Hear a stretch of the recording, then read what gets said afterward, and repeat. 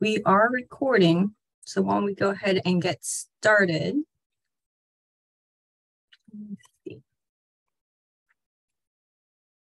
Okay. And Izzy, can you hear me all right? Yes, I can. Okay, great. it's always kind of hard to tell. Definitely. I really see everyone's faces. All right. Hello, good morning, everyone.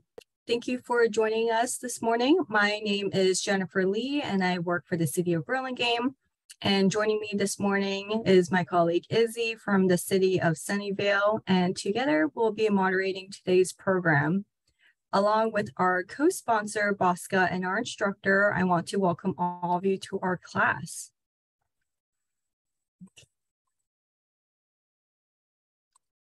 So before we begin the program, I'm going to go over some housekeeping. First, all attendees are muted by default. And secondly, the instructor will be pausing periodically for questions, and we highly encourage you to ask any questions that you might have. If you'd like to do so, you can do so in two ways. The first option is to use the raise hand feature um, at the bottom of your screen.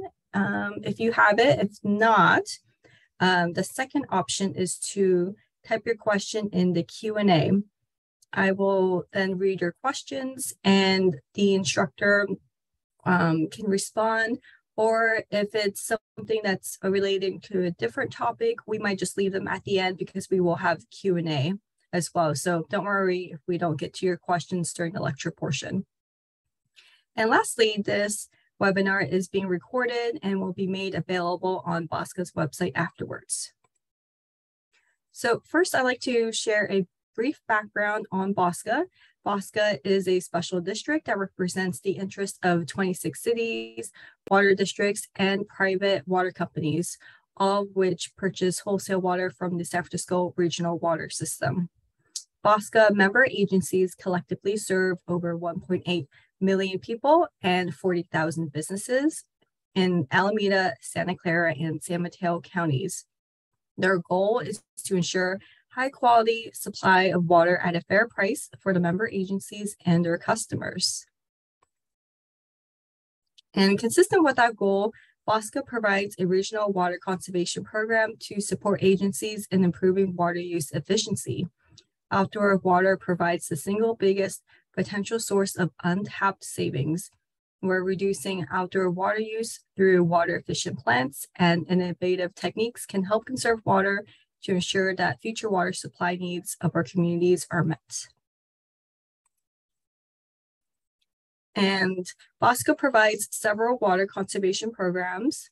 The Lawn Be Gone program provides rebates to customers of participating water agencies for replacing their lawn with water efficient landscaping. And if your water supplier already offers the Lawn Be Gone program, then you may want to consider adding a rain garden to your project where you can receive an additional $300 on top of the Lawn Be Gone rebate. And in the city of Burlingame, we actually just started offering the Lawn Be Gone program and the rain garden rebate. So check that out when you get a chance. A couple other conservation conservation programs we have the Smart Irrigation Controller program that provides instant rebates on the Rachio 3 irrigation controller.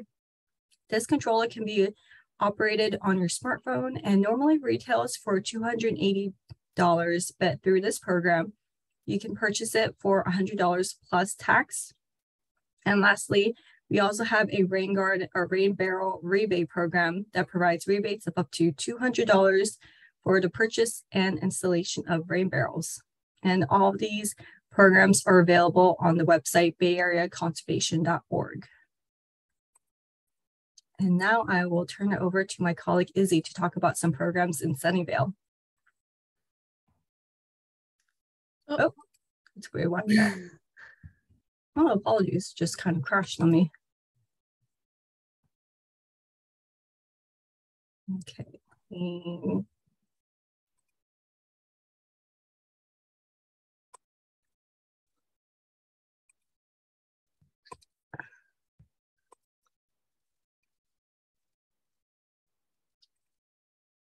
Perfect. Oh. That's weird. Let's start. Sorry about that. No worries. All right. I can see that. Um, okay, yeah, so additional ways to save in Sunnyvale. Uh, the city of Sunnyvale encourages you to participate in rebate programs offered by Valley Water. We offer $2 per square foot of rebates for replacing your lawns and plants that require a lot of water with drought tolerant plants or permeable hardscapes. We also op offer up to $200 in rebates for properties that connect a clothes washer to a gray water irrigation system. In order to qualify for these rebates, please make sure you apply first. It's very common for residents to get super excited about um, these rebates and go ahead and start transforming their lawns before they make sure that they qualify. So please make sure you apply first. Also, are you looking for compost? Because Sunnyvale uh, offers free compost and mulch at the Smart Station. You can stop by Monday through Sunday, 8 a.m. to 5 p.m. with your own shovel and container.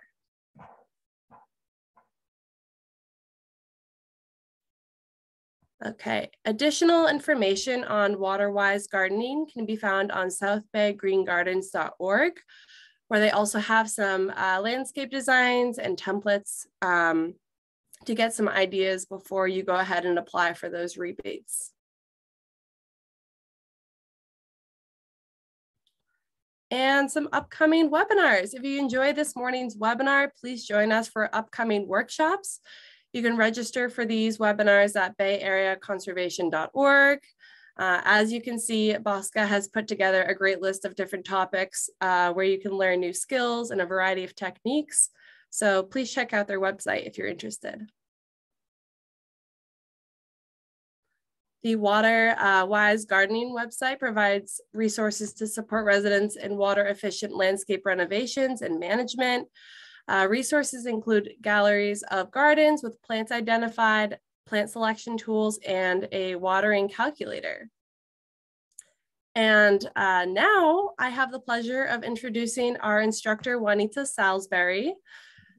She has a PhD in biopsychology as well as a Bachelor of Science in Landscape Architecture. In 2009, she established Juanita Salisbury Landscape Architecture after working for commercial and residential design firms. Juanita has recently turned her focus to California, California native plant pollinator habitats and in 2016 established Primrose Way Pollinator Garden the first of five pollinator habitat gardens in Palo Alto. The gardens combined her educational background, the biology and behavior food intake with the design expression born from landscape architecture. Her focus is to research and educate about these habitats, as well as exploring opportunities to inspire more of them. Juanita, I'll let you take it from here. Thank you, Izzy. No problem. And did we want to do the poll questions now or later? Uh, why don't we do those now? I'll pull up the first slide and uh, let's let's see what people have to think about things. All right, so while Juanita's getting ready, I've just launched a poll and there's three short questions on there. So the first question's asking how familiar are you with California native plants? Do you have no experience, some experience, or do you think you are an expert? Um, the second question is what kind of garden do you have? And this is multiple choice. So do you have uh, turf lawn, native plants, non-native plants, or maybe you don't have a garden at all? And last but not least, uh, the third question uh, asks, why did you sign up for today's talk? And so we're just kind of curious as to, you know, what are some things we want um, our attendees to get from this program? Are you looking to expand your garden? Are you hoping to reduce your water use? Are you just interested in planting more natives or are you just joining in for fun?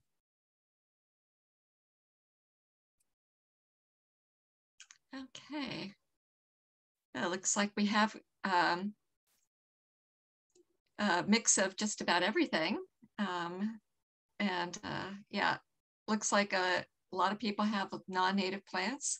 So we'll be uh, talking some about how to switch over from those to things that work better in the environment. So uh, yeah, I'll give it um, 10 more seconds and then I'll go ahead and end the poll. Looks like we have 91% of people answering, which is great. All right, I'm going to end it. Okay, very good. Yeah, so I think everyone can see the results now. Okay, so some half and half with some experience and no experience. Uh, a lot of non-native plants, some with no gardens, trying to reduce water use, planting more natives, yes. And then joining for fun, woohoo. Okay, very good. I hope it's all fun though. Um, just gonna put that down to the bottom. Um, so I'm gonna get started. And um, today's topic, thanks everybody for, for joining. Um, we're gonna be talking about selecting native plants, um, a topic that's near and dear to my heart. Um, I take care of a few pollinator gardens here in Palo Alto, and we have a presence on both Facebook and Instagram, the Primrose Way Pollinator Garden, and we I have a YouTube channel, Primrose Way. We also have a new website, the primrosewaypollinatorgarden.com. Um, if you wanted to volunteer for our gardens, you can do through that through our site and as well as um, more information about our gardens um, with our newsletter that I have uh, posted there. The gardens um, there are five. There's the uh, Primrose Way Pollinator Garden, which was our first one, the Gwenda Street Pollinator Garden, Hopkins, Arcadia, and Island Drive. Um, and we are connecting two of these gardens via the Embarcadero Road Pollinator Corridor Project, which is transforming the strip between the sidewalk and the street into pollinator habitat. Um, if you're interested in looking at how these native plants grow in different conditions in shade versus sun, how big they get, these gardens are always open. Uh, they're a great resource to go and see if you like to look at, see how plants look and see what they look like. So you can make a better choice about what you put in your garden, um, that they're, they are available for you as a resource. So today's topic, um, this is going to be not plant these particular plants. I'm not going to tell you exactly this is going to be good for your garden. Instead, what I'm going to give you are broad concepts, uh, things that will help guide your decisions on what to plant. So although I will talk about a few specific plants, I'm going to talk about broad concepts that you can then apply to your particular situation because not every single plant is going to work in every single garden. So this is the way that people can take their take home messages and then apply them uh, to their to their gardens.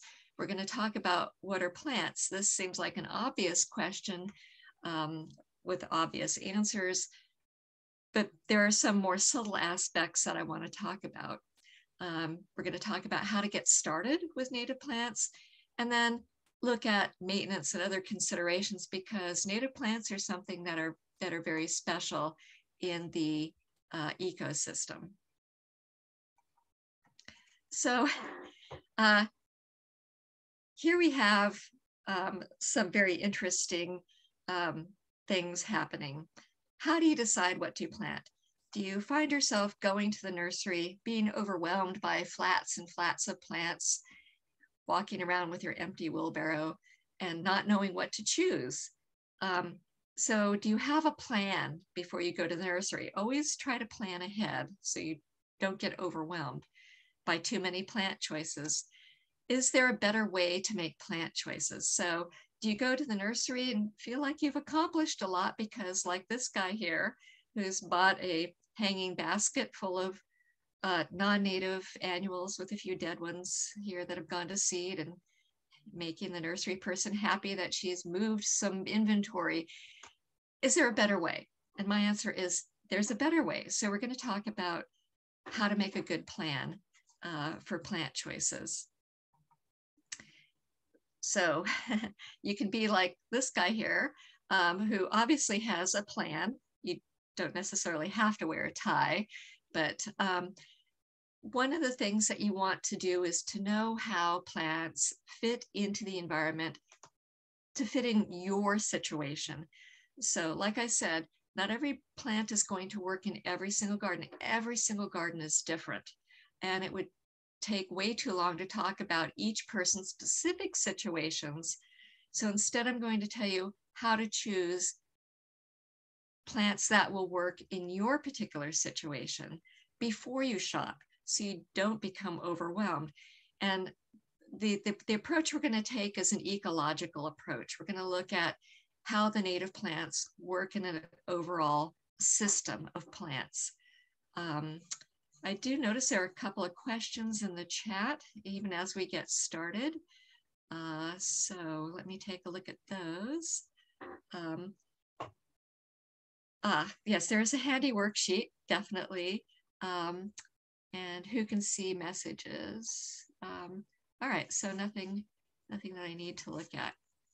Let me close that chat. All right, so again, you know, have a plan. So let's talk about how you make those plans. Go to the next slide. Um, as I said, every garden is different. So we're going to use a system.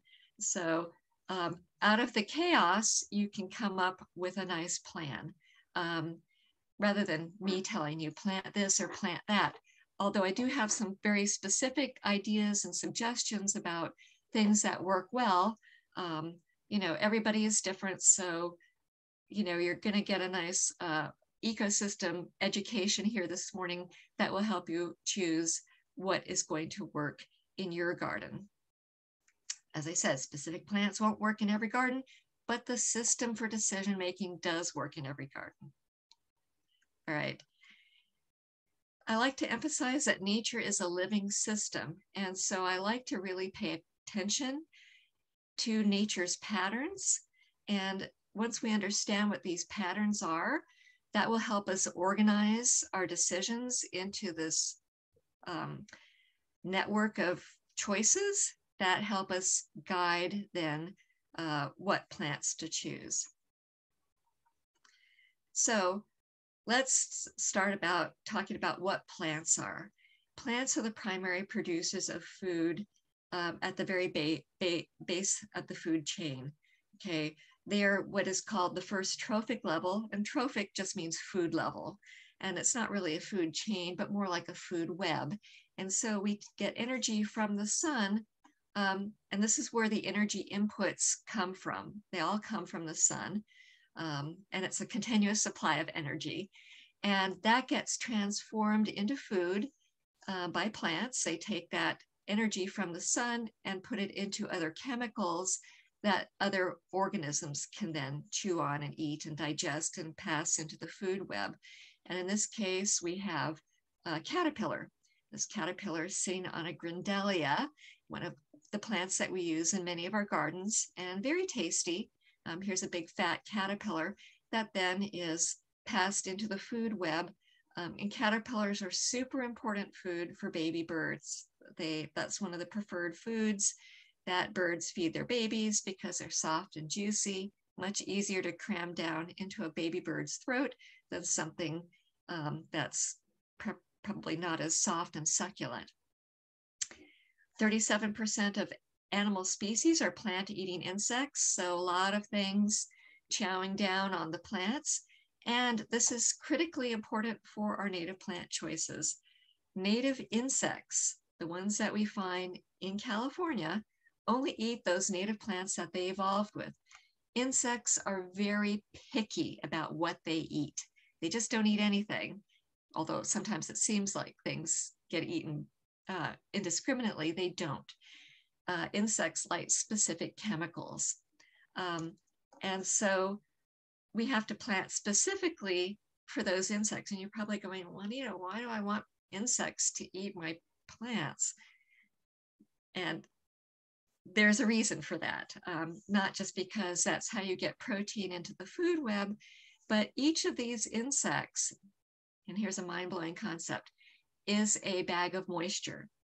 And so we're transferring moisture into the environment where it's going to be conserved. And so if we're looking to save water, what better way than to save it inside living organisms? And that includes both plants and insects and other organisms. And we're going to talk about pollinators too, the bees, uh, because they play a key role in moving uh, genes around in the environment, genes of those plants that other things eat.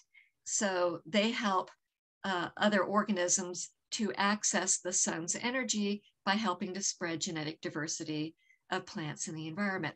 So you're getting from this slide a sense of sort of the overall ecosystem network here, how it's organized. Okay, so plants aren't decoration plants or food.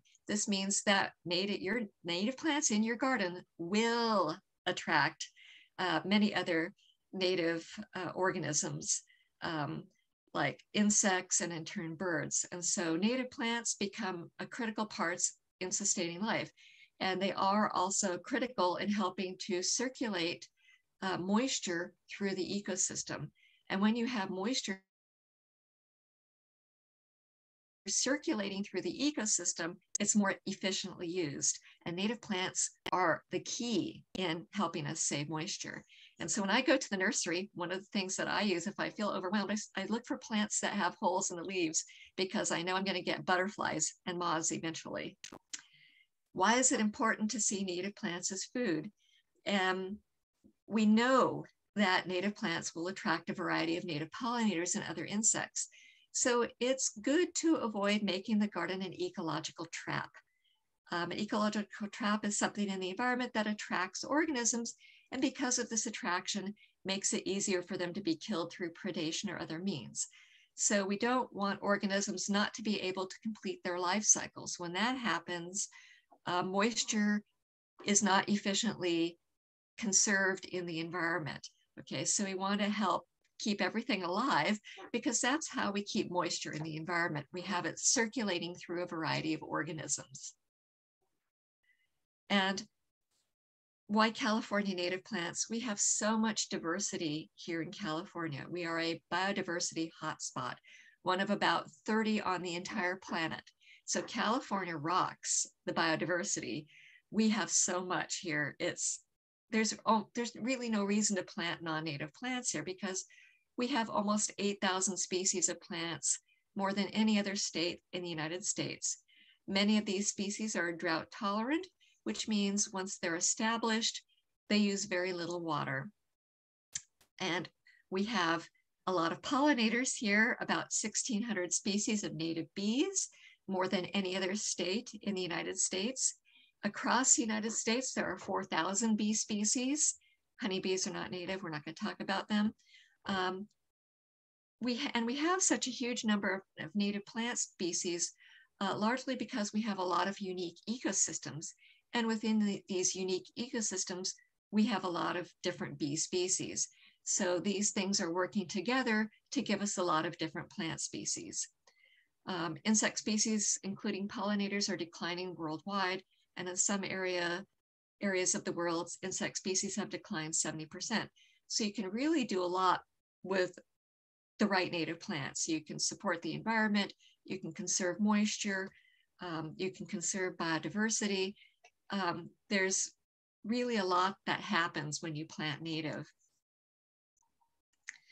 And so what I like to tell people is that, um, you know, once you plant native, your native plant gardens enhance connectivity and complexity in the landscape. And um, it's not a linear relationship. The more you plant, um, you end up with, instead of something that happens like a straight line, you end up with these very complex nested relationships of plants, moisture, things happening underground, cloud formation.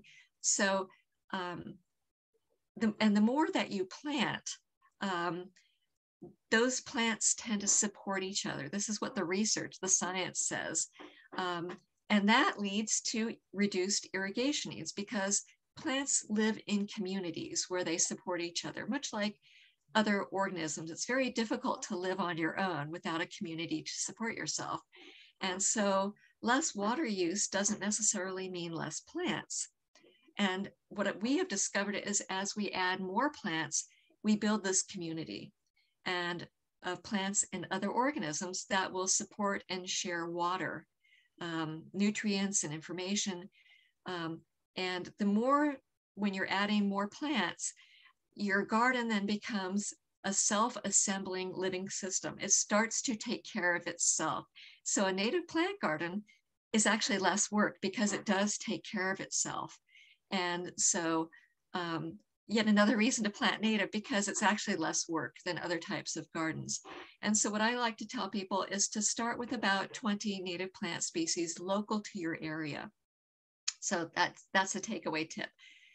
Aim for about 20 uh, to start with. And in your native plant garden, um, the complexity uh, happens both underground and up in the sky. And you can see that through tap roots that get into the groundwater, you are connected to the atmosphere. So, you know, that's just one, one way that you have connectivity. Roots connect underground. Um, you can save moisture by using rocks to trap moisture. You can leave the leaves under the trees to trap moisture. Roots will go towards moisture in the environment. Um, lots of different ways to trap moisture. You can use rain swales, um, rain gardens that then um, help water to infiltrate. And so you can kind of see some of these structures that can help um, with these transfer and uh, cycling of nutrients and cycling of water through the environment. So um, it becomes pretty a pretty exciting place to be um, in a native plant garden. So what do we mean by a plant community? Um, and this is from the California Native Plant Society website, their vegetation glossary, a group of plant species living together and linked together by their effects on one another and the responses to the environment that they share Typically, the plant species that co-occur in a plant community show a definite association or affinity with each other. That means they play well together. And so you won't have um, a bunch of plants deciding to kick a plant in the community off the island, so to speak, that they don't like that plant. Um, we don't like to think about plants as, as like sentient beings, but they know in their way what's going on and who's in their garden space. Um, and they know these in ways that we are not privy to. It's a chemical communication. So um, if the plants are all doing well, that means they all like each other, all getting along. Um, if there's a plant that dies, there may be a disease or maybe the other plants don't like that plant. Um, uh, which is kind of an interesting thing. And so you have you can see this community, and you can almost see like the communication that goes on between plants in terms of how they all are getting along and how they're all doing. And so we have a lot of different plant communities in California. Uh, we have coastal scrub, which is a picture of that. Uh, here's a, sort of a dune community. We have oak chaparral, and chaparral just means shrubs, so shrubs that grow with oaks, desert communities, redwood forest, and so forth. Here, both in San Mateo County and Santa Clara County, we're mostly oak chaparral. So we're going to be looking at planting oaks and those shrubs that go along with oaks, although that may not be everybody's particular situation, but uh, that might be the majority that we have um, today. And so what we see in this particular slide here, um, this was a, a, little hike that I took at the northern tip of the Point Reyes seashore. And whenever you see flowers in the environment, know that you have bees. Bees are the things that are moving around the pollen. Um, and so the plant communities that you see are a function of the pollinators that live in them. Um, and so think about the bees as farmers whose function in the environment is to spread that genetic diversity of plants for other insects to eat. So plants, um, you know, are, you look at plants and you know that you know, you know you have bees. Once you have bees, you have seeds. And if you have seeds, you have more plants. And so uh, those pollinators, bees mostly, are moving that genetic material around. So you want to aim for the majority of the native plants in your garden to be local species and appropriate for your local community.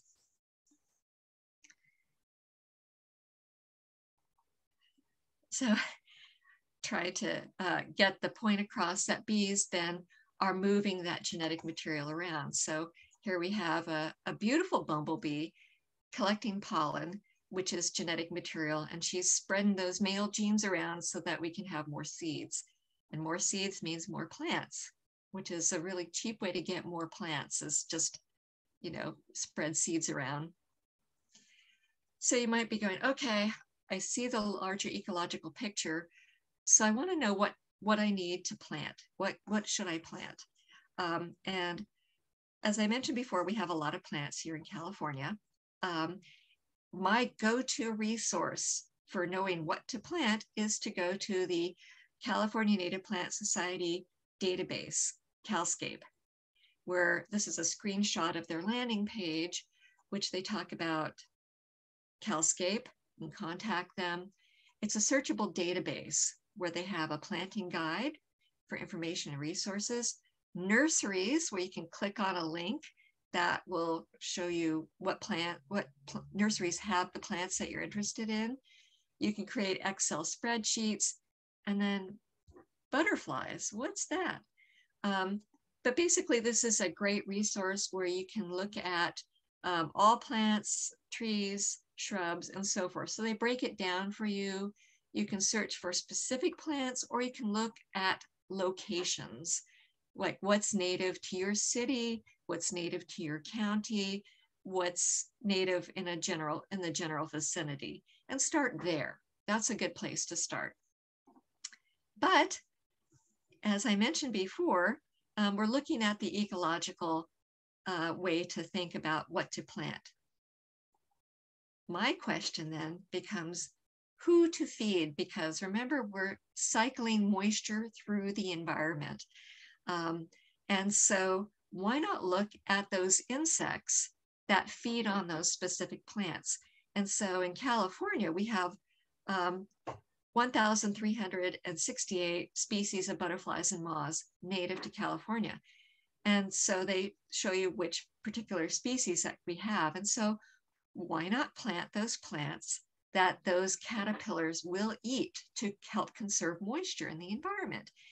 The benefit is that you get beautiful butterflies flitting around and it's incredible to see and it will happen it's a guarantee.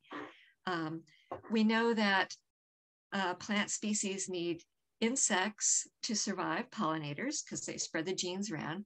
We know that speciation getting variation on plants like bloom size and color and things like that happens more quickly with pollinators those insects that move pollen around rather than just being wind pollinated, which is very random. And the pollinators are spreading around plant species for butterfly and moth larvae. So what you should do in terms of choosing is rank the plants by the number of species that use those plants to help decide who to feed. So if you have ranked the plants, let's say you've chosen amongst various shrubs, and you rank them according to the number of species that they feed. If you have a choice, can't decide something that feeds 10 species versus something that feeds 50, choose 50 because that will have more connections in the environment. That stronger web of circulation of goods and services in the environment makes it more resilient. Simple tip but super important. So biological factors may be more important considerations than abiotic factors, that is those non-biological factors like climate, geology, and water for determining what to plant. The power of biology cannot be overestimated. So to get more resiliency, have more connections. Okay, so next slide. And in San Mateo County, there are 83 butterflies and moths native. In Santa Clara County, it's 87. There may be more. This is what CalScape says.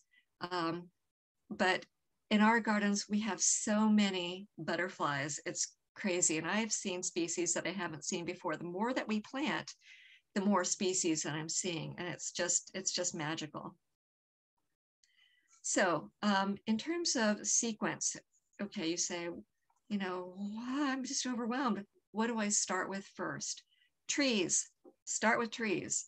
Trees are going to be your bang for the buck um, in terms of saving water, circulating moisture through the environment, um, just basically kind of like being the anchor in your garden. You want to fit in as many trees as possible, then um, choose your shrub layer, which should compose over 60% of the plants in your garden, because remember that oak chaparral, those shrubs, chaparral means shrubs, focus on the evergreen shrubs to keep things looking green and glossy. And then over time, you know, you don't have to do it all at once. Add in uh, native grasses, native perennials, native bulbs, succulents, ground covers, and vines as possible. And shoot for a mix of herbaceous, those ones that die completely back, and the woody perennials, the ones that don't die back. And planting season has started. So you want to start planting in late fall. Well, although we've had a first rain and things are already sprouting, so you can start planting now, all the way through uh, winter and spring for your best results when the soil is cool and moist. Use smaller plant sizes. Those four inch pots are much easier to dig a hole for than a big one gallon hole or, oh, God forbid, a five gallon hole or 15 gallon. It's just easier um, or use seeds, which is like the easiest, cheapest way to go, makes things much easier. And then to protect plants, I like to use physical barriers like chicken wire or a metal basket um, over the top of plants until the roots are established and those plants are not going to be easily dug up by other things like squirrels and raccoons and possums and skunks. So start with keystone trees. And what do we mean by keystone species?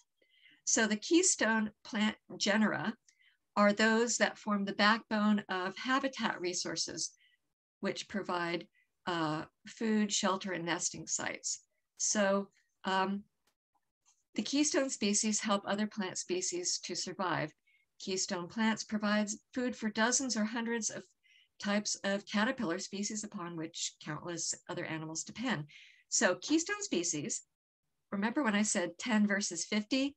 50 is more of a keystone species than the 10, okay? The things that feed 10 species versus 50, because many more things are relying on that particular species. So those become the anchors in the garden. So the more keystone species that you have, the more anchors that you have and the more resilient your garden will be. So the takeaway insight here, by supporting large numbers of other organisms, keystone species provide critical connections in the environment. Those critical connections mean that you're going to be conserving moisture because connections are where you have moisture stored in organisms, in roots, in bulbs, in leaves. So that's how we save moisture. So technique to include at least a few keystone plants to provide a resilient native plant garden. Super easy. Um, and then in uh, San Mateo County, there are 22 tree species, lots to choose from of different sizes. So choose a size tree or trees that will fit in your garden trees help save water. Um, and the oaks, so here we have the coast live oak, Quercus agrifolia, long-lived, add shade and a sense of place.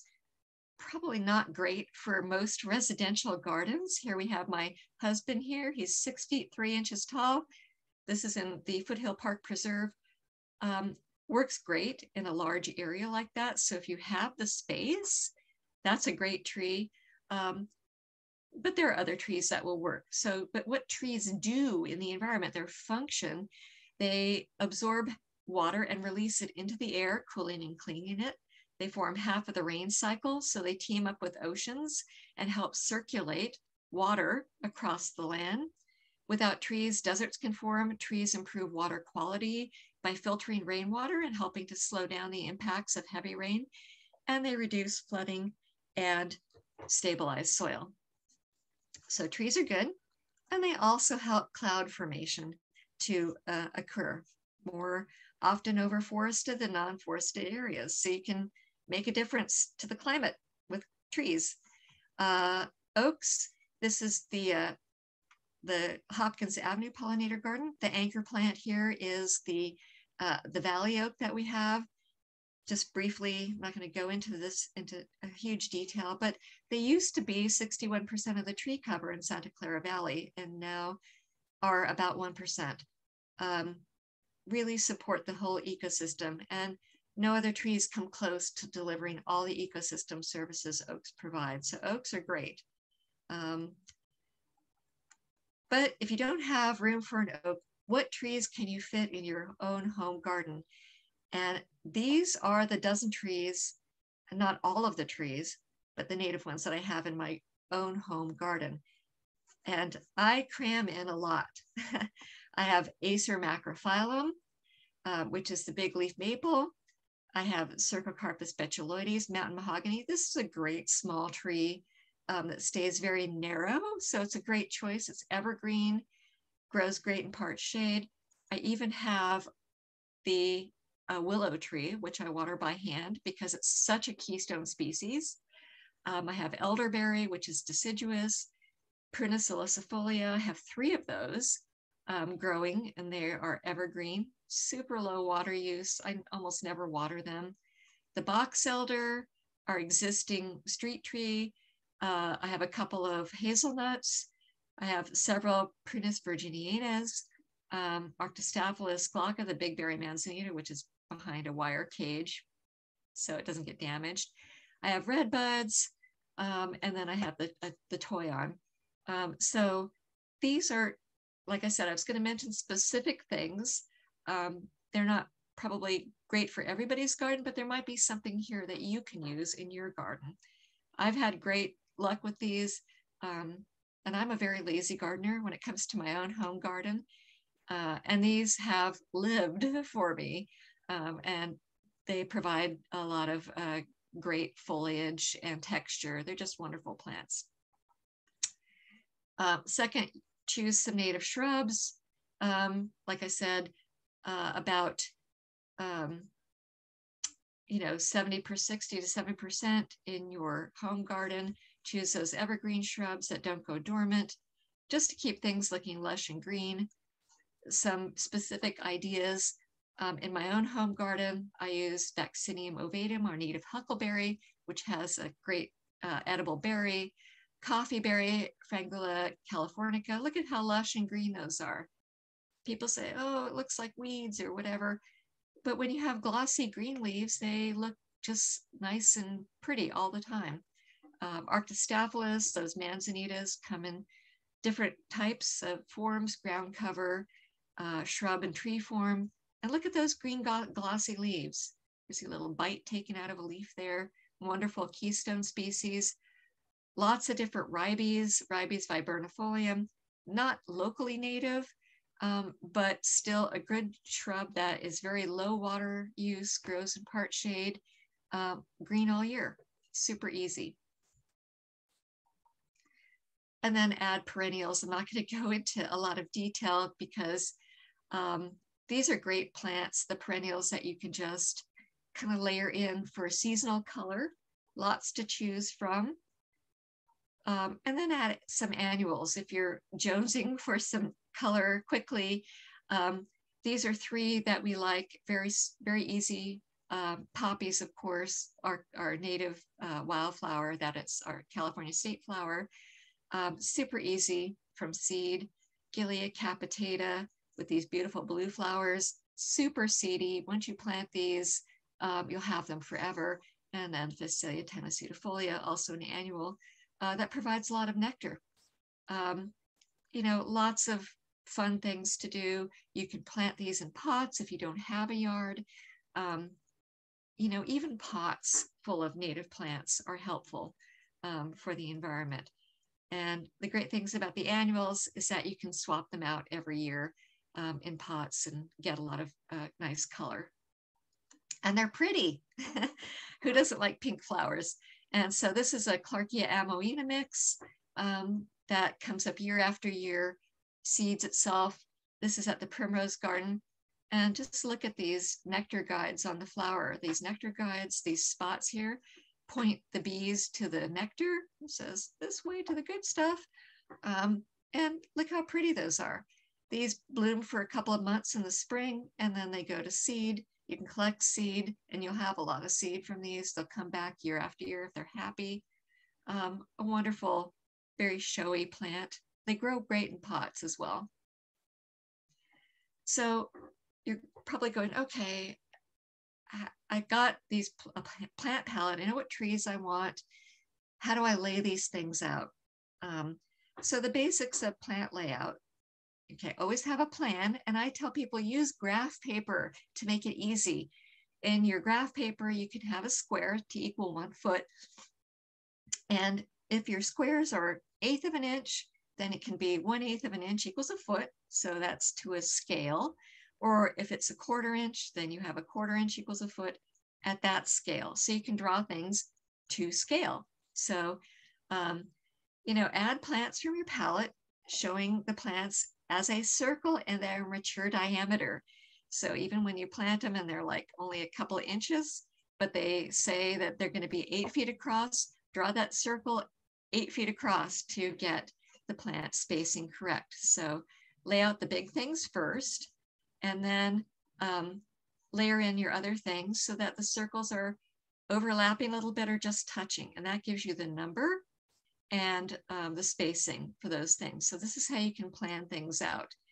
And you wanna have some pathways, um, maybe a couple feet wide for maintenance purposes. So, and they will also give you some structure. Lay out your pathways first. Okay, it's always better to figure out how to move through a garden beforehand rather than afterwards. Um, moisture in the environment. Remember, we're talking about moisture, how to save it. And you're probably going, okay, so I really want to keep things really low water use. And so how do I determine? CalScape doesn't tell me. I mean, it says low water use, but what does that mean actually? And so this is a great resource. It is the Water Use Classification of Landscape Species. It's an online searchable database for plant factors of individual plant species and published by the University of California Cooperative Extension and the California Department of Water Resources. Basically, they show you the water use of particular species as a percentage of turf grass. So turf grass is 100%, which we know turf uses a lot of water. And you can plant things then that use zero to 10%, which is very low, low 20 to 30% of a turf, 40 to 60, 70 to 100%. So it ranks these plants based on their water use. So yet another um, decision that you have to make in terms of, okay, is it a keystone species? 50 versus 10, water use, is it very low or high? Okay, so these are all things that you can use to decide on particular species. And, um, you know, use, use these deciding these decision maker, decision maker factors um, judiciously. So these are things that will help you decide. Again, we're using that power of biology to bring in and keep moisture in the garden. A moist garden um, is something with a lot of life. And one of the great ways I have used to keep moisture into the garden is to use succulents um, and also to use tap-rooted plants to draw on things in the water table and pull up that deep soil moisture. Um, things that are succulent like succulents, Dudleya hassei here, um, they just, they're fleshy uh, leaves store moisture. And so that's, they are a super great way to keep moisture in the environment. Um, when you see lizards in your garden, and this is one of the, the species I look for in our gardens to know that we're keeping moisture in the garden because this lizard is a great meal for some bird and it's nice and juicy. It's got moisture trapped in its, in its body. Um, also bulbs are a great way to trap moisture in the garden. Uh, some native bulbs go completely dormant in the summertime after they've bloomed. but those bulbs that are underground are storing that moisture. So lots of different ways to store moisture. So when you pair these biological ways to store moisture with those uh, non-biological ways to reduce water loss using mulch, shade, rocks, and so forth, the more moisture that you have in the garden, okay? Because we're all about conserving it and circulating it through um, living creatures.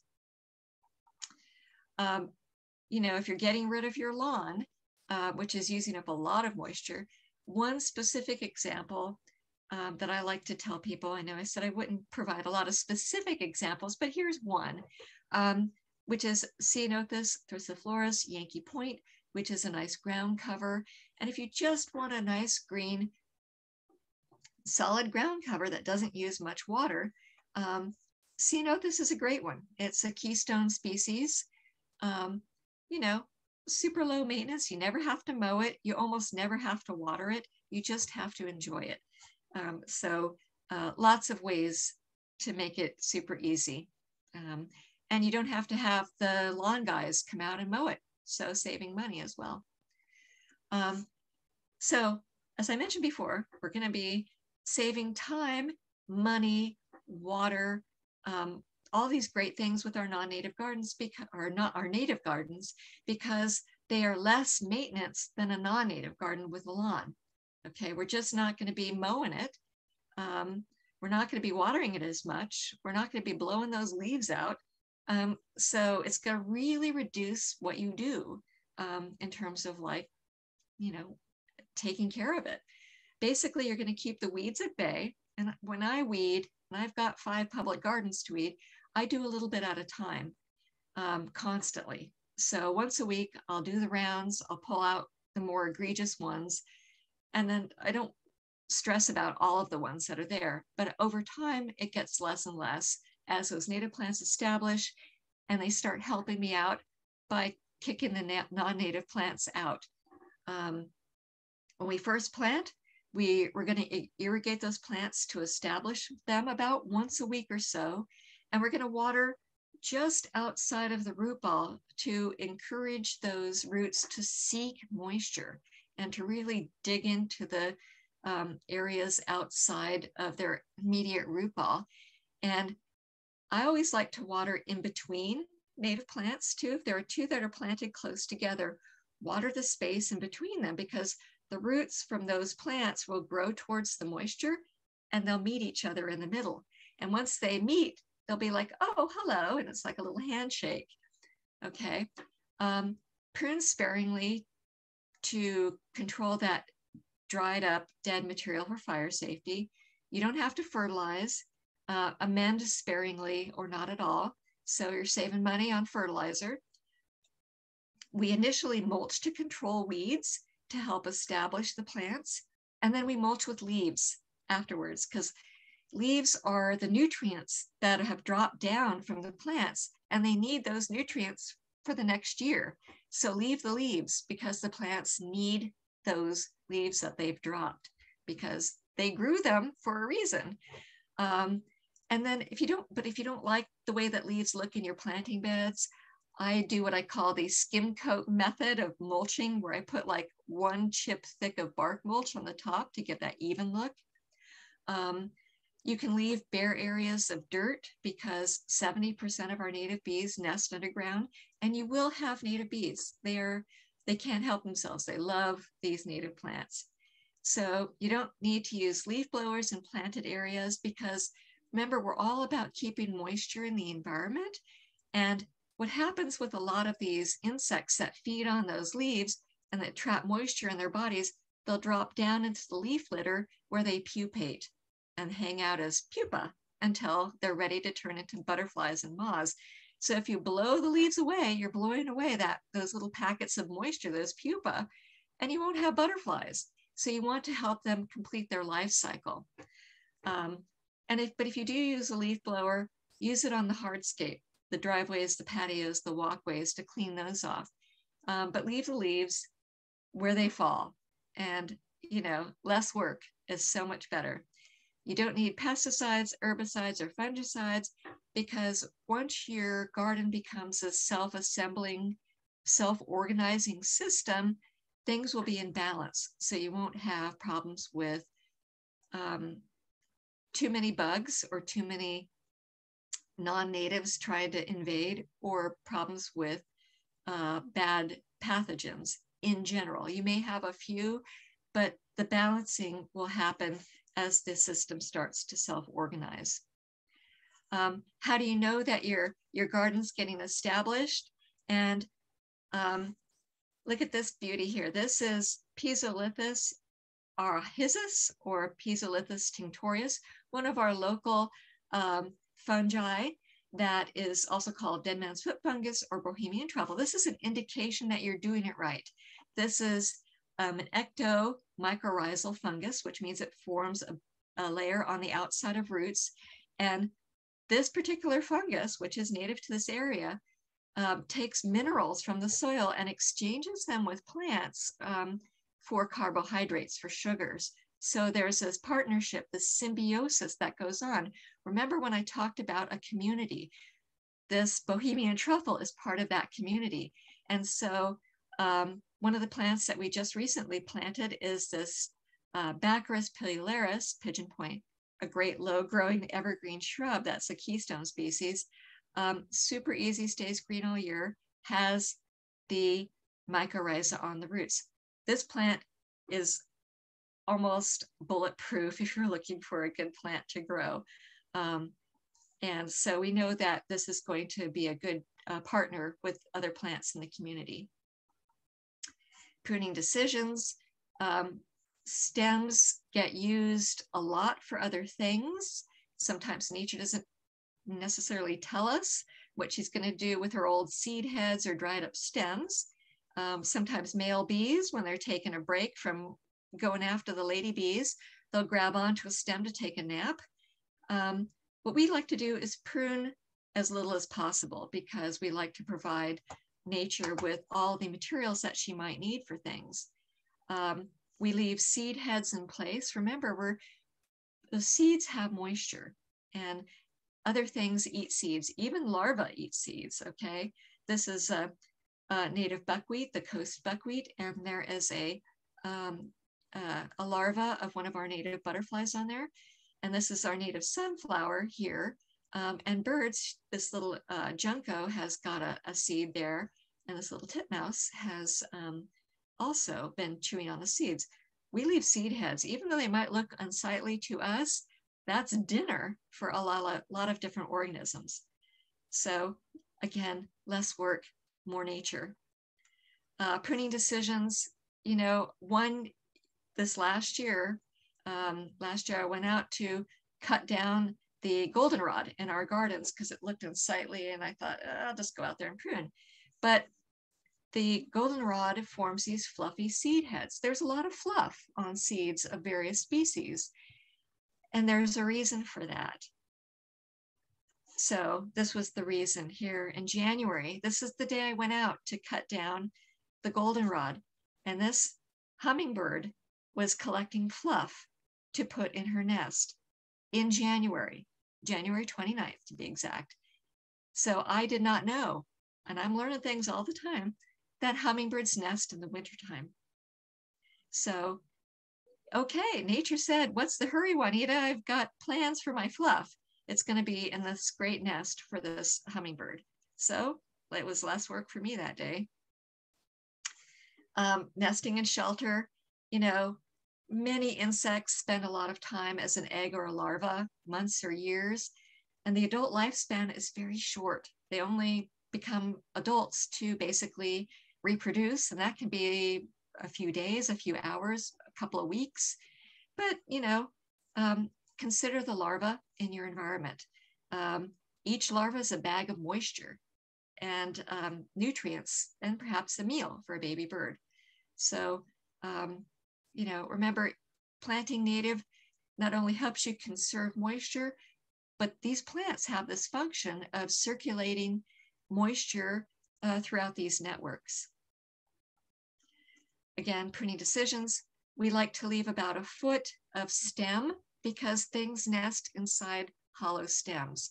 Um, a lot of native bees are stem nesters, who knew? So takeaway tip, if you do prune, leave about a foot of stem for the uh, stem nesters. Um, and bees will nest everywhere. Um, I use a lot of bamboo stakes in my garden, and this I did not know. I spent a lot of time looking at things. And this little lady came out of my bamboo stake where she was nesting. And I have such a population of these leaf cutter bees in my gardens because I have so many places for them to nest. Nesting is part of, you know, keeping that life cycle going, keeping those moisture networks connected. Um, and so when you add things um, like log piles, they don't have to be unsightly, they can be decorative looking. That adds niches to store moisture um, in babies and larvae and eggs. Um, and so another great way to keep moisture in the environment is to provide niches for nesting. Leave those leaves. As I mentioned before, uh, leaves are those nutrients that trees and shrubs, the deciduous ones where they're dropping all their leaves, um, have built up over the season and then drop to the ground to cycle those nutrients back. They need the leaves to do their thing. Um, and they also provide uh, places for species, insect species to overwinter, and birds will find them and eat them. Um, you'll also find salamanders in there, frogs, crickets, all kinds of interesting insects and, um, and amphibians will also shelter in leaves. Leaves encourage that fungal decomposition, which is super important to get those underground networks. And so what we do is we'll rake the leaves um, around uh, trees and shrubs and leave a little space so they're not right up against the trunks. Um, and then if you like, you can weigh them down with a thin layer of bark mulch for aesthetic purposes. So leaves are ecosystem gold. You cannot overestimate the importance of leaves in the environment. They absorb water like a sponge, they filter water, they hold in soil moisture, they insulate the soil, they keep the soil cool. So do less work, leave your leaves. You'll be happier, the plants will be happier, you'll spend less money and less time, and you'll save moisture. Bumblebees overwinter in leaf piles. They really like to be in oak leaf piles. Um, plants and seedlings grow up through leaf litter. So, you know, people, are, oh, what if my plants like get smothered? You can brush the leaves off of plants, but uh, plants have been growing up through leaf litter for eons, millions of years. So I like to let leaves break down and we have things growing right up through them. Um, again, but bare soil is important. So if you have areas of bare soil, you know, um, bees nest underground. So we leave those areas bare. And, you know, it's, they can be small areas, maybe a three foot by three foot area, which is what this area is over at the Island Drive Garden avoid creating that ecological trap. So to keep moisture in the environment, let things complete their reproductive uh, life, their whole life cycle. Um, and so when we're using native plants, we know that with the abundant blooms for nectar and pollen for bees and um, other pollinators um, and leaves that butterfly and moth species enjoy, your garden's going to be super attractive to these insects which is good because we want them to help cycle moisture in the environment. And so an ecological trap is an environment or things in those environment that lures those organisms into that can't maintain them and does not allow them to fulfill their life cycle. So what we do is we create pathways between uh, habitats so that things can travel between habitats to reduce isolation a hugely important thing to do is to reduce light pollution at night. Um, this is a huge problem um, where you don't just have insects attracted to lights at night, where you can lose up to 60% of your insects in a single night by um, exhaustion or predation. Um, but it also interferes with bird migration. Birds migrate at night. And if it's if they're distracted by lights, they're not going to be as efficient as migrating. They're going to be disrupted. So blackout curtains at, on your windows is a great way to help with that. Um, also to put your lights on motion sensors outside. use yellow lights, which are not as attractive, have shielding so that the light is directed downwards. Um, so try to create uh, as much darkness as possible. You wanna leave your leaves, eliminate the use of pesticides, herbicides, and fungicides. Those things get into the soil where 70% of our bee species are nesting. And those chemicals can actually interfere with the, uh, the development um, of the insect and reduce as much um, fume uh, exhaust from gasoline as possible.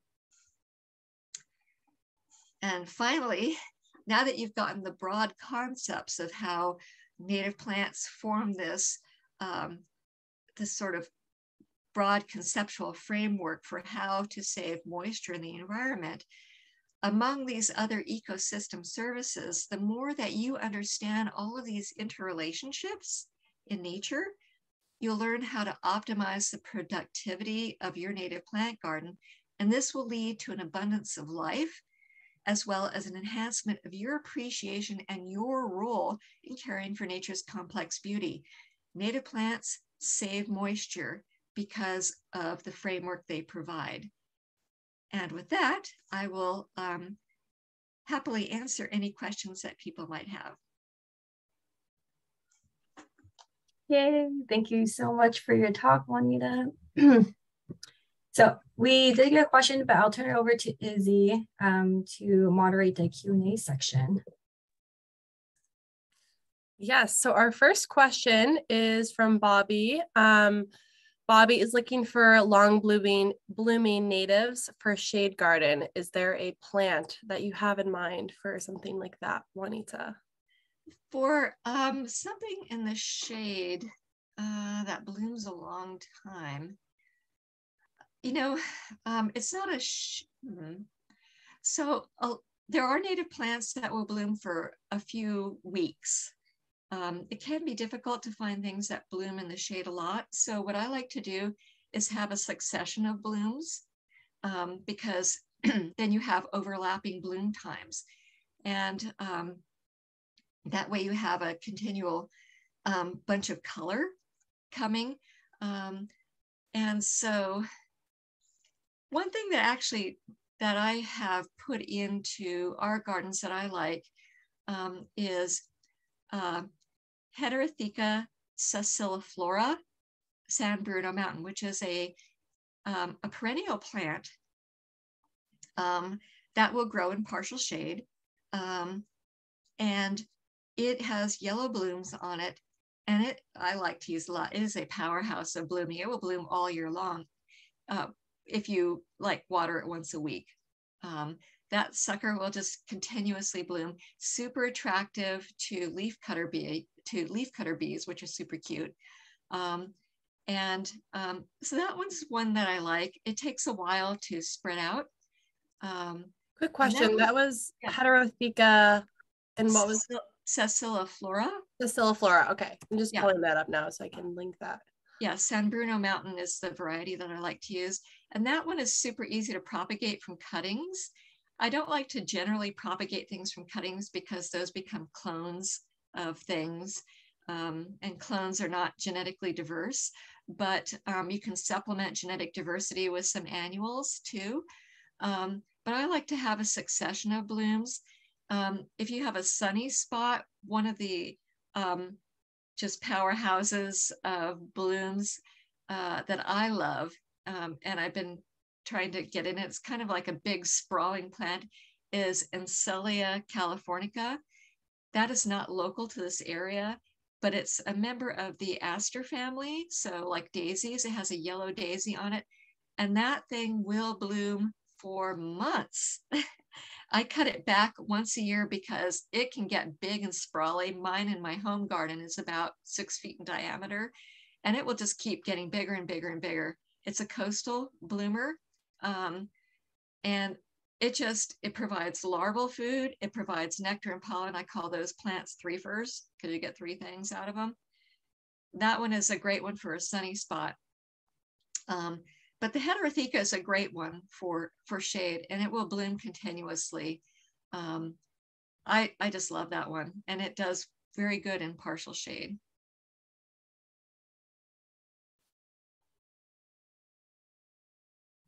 Awesome. Any other questions for Juanita while we have her here?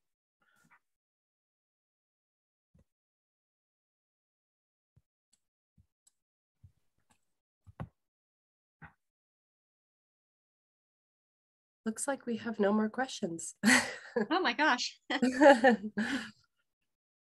Maybe I hope, oh, sorry, I go this. I hope this was informative for people. You know, maybe it wasn't exactly what they were expecting, but when you're talking about native plants, you, because of what they do in the environment, you you basically have to like look at their function. Um, you know, as a designer, I'm all about form following function, and the form that um, emerges out of native plants is more like these nested networks of connections. And so you have to talk about all these different connections to really, to be really an efficient user of native plants, um, which are super efficient, as you know, in conserving moisture. And so seeing how they do that gives you those tools you know, knowing how much water they use, knowing how many species they feed, knowing to start with trees first and to plant local. So you have like these things in your toolbox to help you guide your decisions so you don't end up going to the nursery and buying the hanging basket of things that are already going to seed. Um, you could go to the nursery with your plan. You don't necessarily have to wear a tie, but you'll have made those decisions ahead of time. Um, and, you know, like I said, using CalScape, yet another thing in the toolbox for decision making, um, can help you research those local species that you know are going to do well. Another thing in your toolbox, go to native plant gardens, take a look at the plants that are growing there. Most of our plants have labels on them. Um, some don't, but you can use, if something's not labeled, um, you can email me through the Primrose Way Pollinator Garden.com site. Say, Juanita, what is this plant? Um, or you can use an app um, that is like iNaturalist to look and see, you know, what that plant is. And that the iNaturalist app I use all the time to identify species because there's so many to know, um, which is how I identified the um, the Bohemian truffle, the Pisolithus tinctorius, which is a great fungus, which, you know, whenever I see it, I think of that as a real gift um, from the environment because we actually use those spores to uh, line our holes when we're planting plants. So when I see them, see one of those things, I dig it up and I take it with me to our new gardens and I sprinkle the spores um, in the planting areas to help establish our plants. So that's like nature saying, hey, Juanita, look what I gave you. Here's a nice Bohemian truffle, not edible, but the plants will use it to, um, to learn about each other and to make those mineral sugar exchanges underground and your plants will do better and use moisture more efficiently. Um, so the iNaturalist app can be a real great tool for people um, to help identify plant species. So lots of tools to make decisions without necessarily going plant this specific thing or that specific thing. You know it's like i like to empower people with things that they can use to help them make their best decisions and these are the best things. I'm, and i'm always trying to improve those tools so i i make better decisions because i don't want to make things worse. I want to make things better. And so these tools that i use you know, these are the tools I use. Maybe these are tools that other people can use as well to make those better decisions. Awesome. We actually do have a couple more questions rolling in. Okay. Um, one question, if you have mature non-native trees, do you recommend replacing them? Ah, so it depends on the species of tree. Um, you know, if it is a, a weed tree, like um, a tree of heaven, the Ailanthus altissima, which is not a native species, I would cut that sucker down. Um, a species that is going to be invasive in the environment, those invasive trees you do want to remove. Um, if it's a non-native, but it's not going to spread invasively, what you can do is you can do a succession. You can plant underneath of those trees to get a sub-story going so that when that tree fulfills its life cycle, then you'll have something in place that will replace it.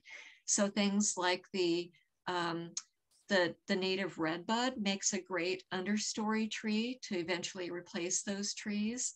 Um, you know, so those are helpful things to decide on, um, you know, when you want to start replacing your non-native trees. Um, you know, a lot of people have things like crepe myrtles, you know, I mean, there, there are low water use, but what I like to plant, you know, next to those trees that are wonderful trees, maybe uh, people like are the desert willow that we have, the Chilopsis. Those take a while to grow, so you can plant nearby them, uh, your non-native trees, and eventually replace them when your native tree gets big enough. Um, and so that way you don't you don't change things too rapidly in the environment. I like to do things gently and slowly because I'm dealing with a living system so I don't want to like go in and do surgery without having a way to stitch it up nicely. Mm, definitely. And then we have um, two more questions, uh, both from Bobby. Will valerian tolerate dappled light? Valerian? Yes. Uh, I don't know if valerian is a native species. I can look into that now. Um, and then the second question is what nursery might carry cuttings of Heterotheca sessiliflora? Ah, so what I would do is go to Calscape and um, look up that plant specifically, and then it will show you what nurseries typically carries that plant. Click on the links for the nursery, and then uh, most nurseries have an availability list where you can look and see what they have currently available. If they don't have it, you can contact that nursery and say, when are you planning to get that plant? Um, it is a very popular plant. I've sometimes had difficulty getting it. Uh, but once you have a couple, then you can grow it from cuttings, um, you know, or you can try it from seed. Um, and that's one of the great things I love about getting a few native plants to start with is that I always end up with a plethora of seeds and more than I can use. So if people like to volunteer, I'm not, I'm not like saying anybody can volunteer if they're interested, but they can. Uh, I always give my volunteers lots of seeds to grow. So this is a perk if you want to be a Primrose Way pollinator garden volunteer. Um, you know, but that's one of the, the benefits of having these plants is that they're very uh, prolific in their seed generosity. They'll give you more plants. Um, oh, um, you know, another plant I like to use that will do well um, and is very strappy and nice and evergreen looking is um, the native iris. And there are a few different kinds. It doesn't bloom all year, but um, talk about seed goodness. Um, these plants also, you can divide them up in, from the clumps that they grow in and get more. Um, it doesn't bloom all year, but it does provide a nice sort of grassy look with the strappy leaves all year that's evergreen. Um, there are just so many different plants um, that grow nicely. Another one that's blooming right now um, that will actually do well in shade that likes to do um, growing kind of on a mounded area is Lessingia, which is um, a low growing ground cover that has, it's kind of a a grayish color, very soft um, leaf kind of texture, and it has pink blooms, which I love. I love pink. And um, it's also a threefer. We have larvae on those, plus uh, larva, uh, nectar and uh, uh, pollen. So that one's a great one. Um, super easy to grow, pretty low water use. And we do have it in shadier locations. Um, and it's a late bloomer. So it gives you something nice um, this time of year. Um, you know, but with 8,000, almost 8,000 species of plants, there's going to be something that you can find. And part of the fun of native plants is what we like to call the hunt, um, looking for those treasures. It's a treasure hunt, certainly. Awesome. Thank you, Juanita. Do we have any other questions?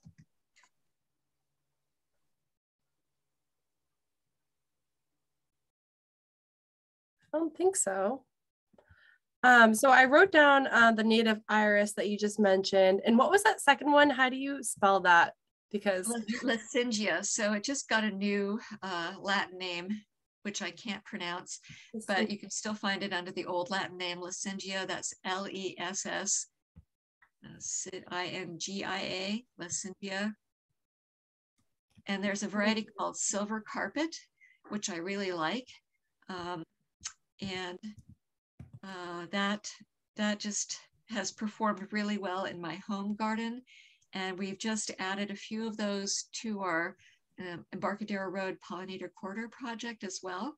Um, so if you walk down um, Embarcadero Road near the crossroads of Newell um, Street, Newell, um, you can see those planted in there, um, as well as in front of the First Congregational Church across the street from the Primrose Garden. Uh, we just added some in there as well. Um, but lots of lots of things to try. One of the things I have noticed is that when there are species that are referred to as coastal species, um, sometimes those do better in a little dappled shade because if you think about the coast, it's a little bit cooler here than a uh, cooler there than here, um, especially in the full sun. And so coastal species, I find, will do better with maybe a little afternoon shade. Um, I mean, who doesn't like a little afternoon shade, especially, especially if you've been baking in the hot sun um, all day. So dappled shade can be good for those coastal varieties. Um, if people are kind of hesitant, oh, it grows out on the coast, will it do well? Um, a little dappled shade probably is helpful for those things. You know, people go, well, I want blooms all year, I want color you know, and you can actually achieve a lot of those color um, desires by doing things that are very highly contrasted in terms of foliage. So if you go with like a light gray green ground cover, like the Lessingia I mentioned, with a darker green ground cover, like the Arctostaphylos, that can give you a very striking look um, without having a lot of blooms. So, um, you know, if you want color, uh, contrast is a great way to, estab- to establish sort of a, a color interest without actually have things that are blooming all the time. Design tip from Design World. Great. And Bobby just asked again um, for the address of the uh, Gwenda Street Pollinator Garden. Is there like a specific address that you have for that, Juanita, or? Could you say that again? My internet connection was weird. The address of uh, Gwenda Street Pollinator Garden. Because I'm looking it up online and I don't see it. Did you catch uh, that? It's telling me my internet connection is unstable hmm. again. Um, let me see. Um, okay, so uh, what is it? Let's see looking at the chat. It's in the Q&A. Yeah, I'm taking a look. Uh, let's see. Do, do, do. Oh, it's uh, what, separate from what, what is the Native Plant Society Nursery? Uh, California, so California Native Plant Society uh, website that I was talking about has links to various native plant nurseries. Yes. Um, and so um, you can click on if you scroll down, it will show you like nurseries that have that plant. Yes, four nurseries carry this plant. And then you can go to the various uh, nurseries there. But actually the California Native Plant Society has a lot of different chapters. Our local chapter is um, the Santa Clara uh, chapter, uh, Santa Clara Valley chapter, and they have a nursery.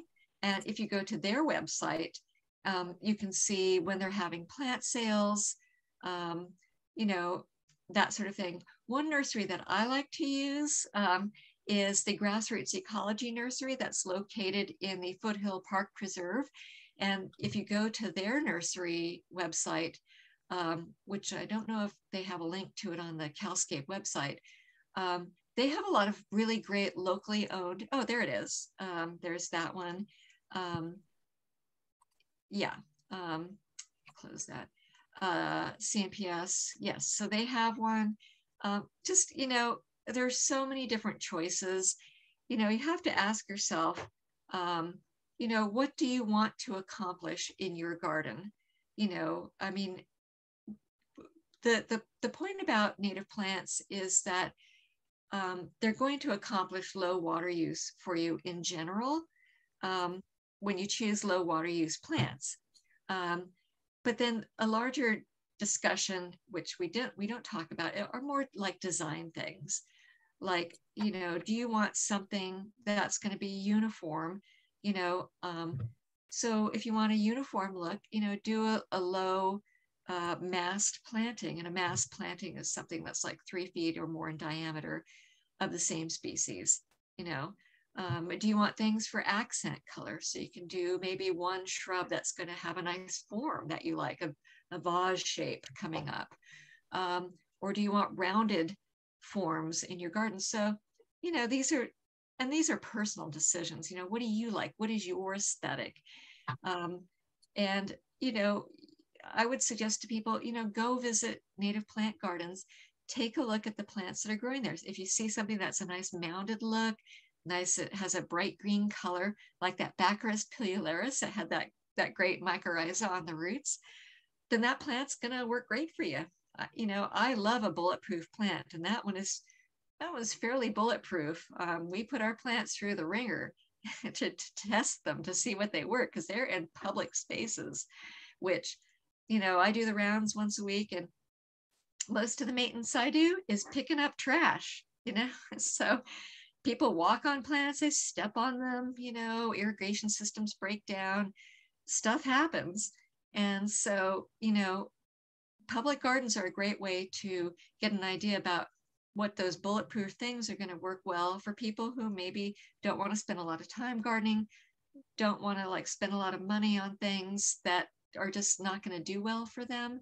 Um, so they can see what's going to work in different situations.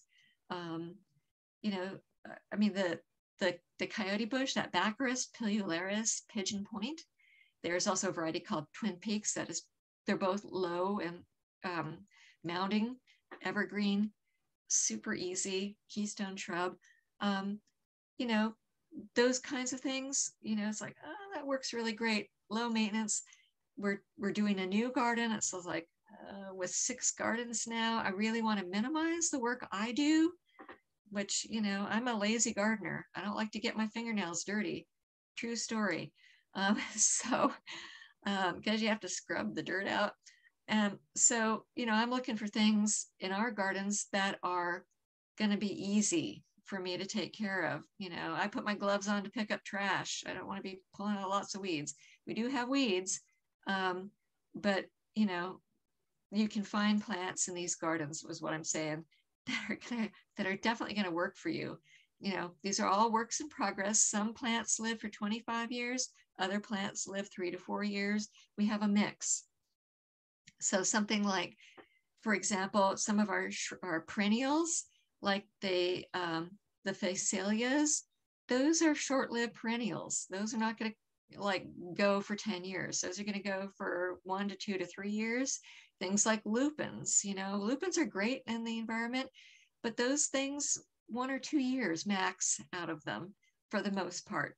Um, you know, so you just have to reseed some of these things. Um, you know, people oh, died after the first year. Well, that's the nature of that particular species. Some things, um, like oaks, some live 600 years, you know, so, um, you know, take into account, you know, if you want to just do it once and not spend any more money, then go for things that are going to be longer lived. If you're interested in trying a lot of different colors, maybe try some annuals, short lived perennials, you know, but don't be too married to those ones that are not going to, um, you know, last forever. Some of them do reseed themselves. So, and they'll move around in the garden, you know, if they're finding a better spot than where you put them. Um, and that's what happens in these native gardens when I talked about these self-organizing assemblies. Once the plants form these associations, the plants tend to, the ones that are short-lived perennials tend to move around where they like to be. It's like, okay, you want it to be over there. I thought you would do well over there, but you know better than me. So, you know, when you start taking your cues from nature, um, is when you're going to be more engaged in making those decisions. And so that's an, another thing is in your toolbox is, is let nature engage you and tell you what her cycles are, what her connections are, what her schedule is, because she really has the ultimate say on everything. So another tool in the toolbox, let nature speak to you. Great. Yeah. And I think that's a perfect um, thing to end on. So thank you everyone for joining us um, on this Saturday morning. As a follow-up to this webinar, we will be sending an email to everyone who registered with a link to the recording. And also, Juanita, um, we did get a question earlier if you are able to share the slides. Um, I do know that you are using lots of really great photographs, so I'm not really sure if it's something um, you could send over email.